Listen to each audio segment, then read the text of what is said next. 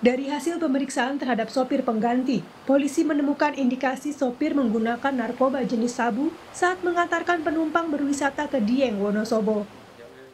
Dugaan penggunaan sabu ini muncul setelah polisi dari Res Narkoba Polres Kota Mojokerto melakukan tes urin. Guna pemeriksaan menyeluruh, polisi juga akan mengambil sampel darah pengemudi untuk diuji di laboratorium. Hasilnya baru akan diketahui dua hingga tiga hari mendatang. Selain dugaan menggunakan narkoba, polisi juga mendapati pengemudi bus ternyata tidak memiliki surat izin mengemudi.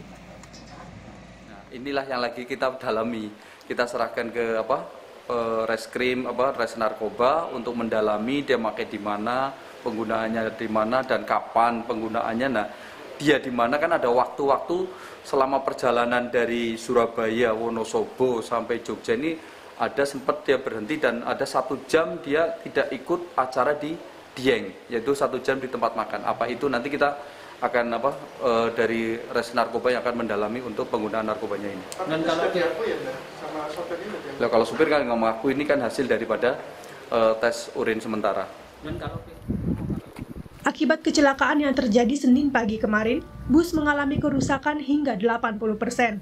Badan bus sebelah kiri mengalami kerusakan paling parah karena menghantam tiang reklame dengan kecepatan tinggi.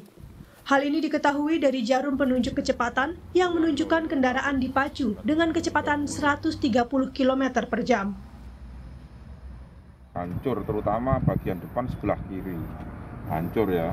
Kemudian roda depan juga terlepas di lokasi uh, penyimpanan BB di Wika Waru Sidoarjo ini. Untuk sopirnya sendiri lepas juga enggak? Setirnya? Setirnya lepas. Setirnya lepas.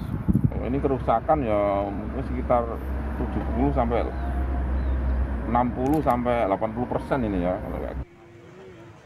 Sementara itu, keluarga korban mendapatkan santunan dari pihak Jasa Marga dan juga pemerintah kota Surabaya.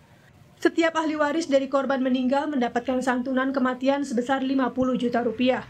Sementara, untuk pendidikan anak-anak korban akan ditanggung oleh pihak Pemkot Surabaya hingga ke jenjang perguruan tinggi. Sedangkan biaya perawatan korban luka sepenuhnya akan ditanggung pemerintah kota Surabaya. Tim Liputan Kompas TV